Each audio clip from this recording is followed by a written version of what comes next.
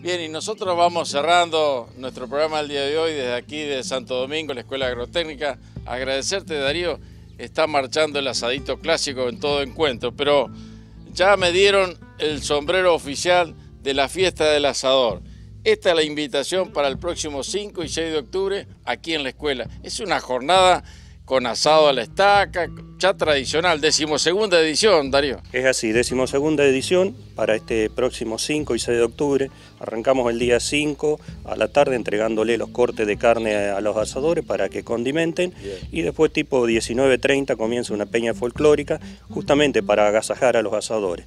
Tengamos en cuenta que están participando asadores de la zona y de provincias vecinas. Gracias a Dios eh, este evento tiene una muy buena acogida en cuanto a, los asadores, eh, gusta mucho de este evento y es así que todos los años estamos recibiendo un número alto de asadores que vienen a participar. Vienen los entrerrianos seguramente de Tabosi, que también es otro gran encuentro clásico de la gastronomía criolla.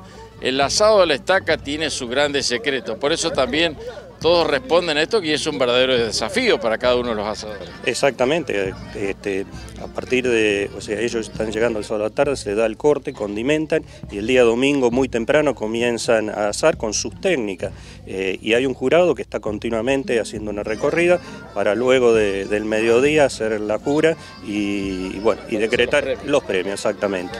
y yo como consumidor, como visitante de esta fiesta provincial del asador, ¿Qué, tengo que, ¿Qué condiciones me establecen ustedes para disfrutar de estas ricas carnes? Bueno, nosotros le brindamos eh, la mesa y sillas y después cada uno de, los que vienen al evento tiene la posibilidad de durante todo el domingo a la mañana estar recorriendo los distintos estanes donde están asando cada asador y elegir el corte que les puede gustar o probar al mediodía. Entonces al mediodía se van a acercar eh, a donde se están eh, haciendo, fraccionando esos cortes, se pesan y cada uno come del corte que desee.